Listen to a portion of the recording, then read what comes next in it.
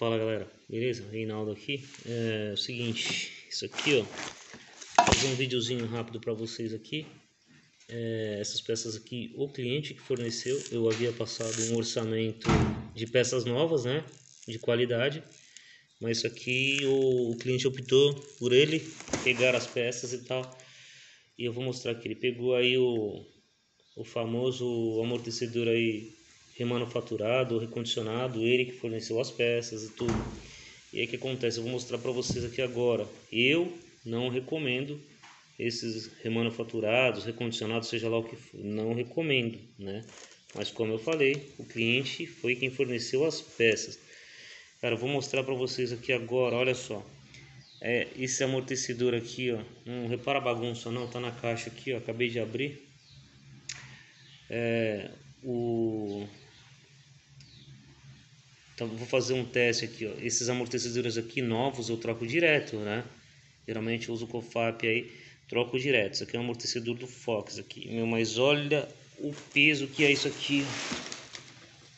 Ó, o amortecedor, tem que fazer muita força mesmo para ele baixar um pouco. Não tô conseguindo baixar ele aqui na mão, não. E aí o que acontece? Isso aqui é para mostrar o que? Quando o amortecedor é novo, né, fabricado certinho lá pela fabricante, por exemplo, a Cofap, seja lá, né, tem Nakata, outros aí de marcas boas também. Isso aqui é calibrado, cara, na empresa lá, um óleo especial que só a empresa tem, é calibrado, é testado. Aí vem esses caras aí de, de fundo de quintal aí, ó, querer recondicionar amortecedor, aí faz uma uma porcaria dessa aqui, ó. Cara, o amortecedor ele não baixa, cara. E os dois, assim, os dois estão assim, ó. Tá baixando um pouco aqui, ó. Com muita dificuldade mesmo. Não consegui baixar ele aqui, não. Vou dar uma pausa, vou ali na morsa. Ó, tô com outro aqui na morsa aqui, ó. Olha só, ele baixando aqui.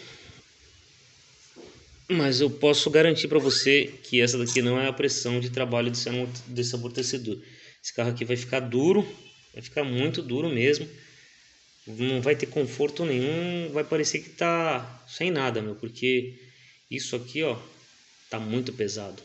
Muito pesado mesmo. Então fica como dica aí, né? Para vocês aí que gostam de colocar esse tipo de coisa aí, ó.